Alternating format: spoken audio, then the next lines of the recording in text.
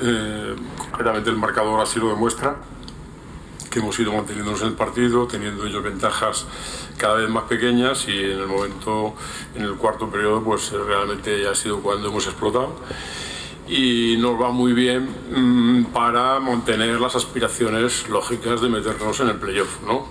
Porque bueno, pues la cosa está muy competida y nos va estupendamente el poder, el poder tener esa victoria para, en función de lo que hagamos a continuación, pues tener la aspiración de hacer un buen playoff, primero de clasificarse, claro.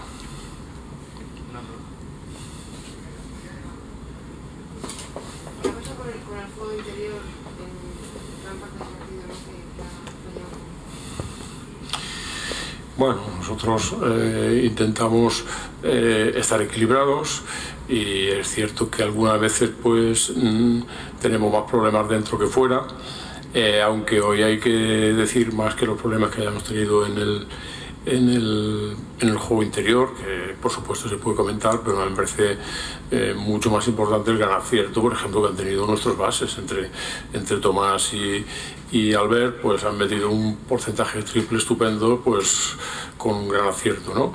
Y ojalá siempre pudiésemos tener el mismo acierto de fuera y también el más acierto de dentro, ¿no? Pero creo que en el global, pues está bastante bien tanto el ataque como la defensa por supuesto que, que intentaremos mejorar ese aspecto que comentas. ¿Ganar hoy al Barça, qué significa? Pues significa dos puntos. Es decir, que mmm, eh, normalmente estamos mmm, más acostumbrados a sobrevalorar eh, o a valorar mucho más las victorias con los grandes y, y desde luego son dos puntos igual pero en general eh, son mucho más importantes las victorias contra los equipos que, que, eh, que, están en tu parte de la tabla, ¿no? Nadie sabe que va a pasar al final, ¿no? Pero es previsible que el Barcelona esté arriba y nosotros no tanto. Y si lo preguntas desde el punto de vista de que de mi pasado en el Barcelona, pues mm, no significa nada especial, significa pues esto que, que podemos ganar un partido más, ¿no? A ver.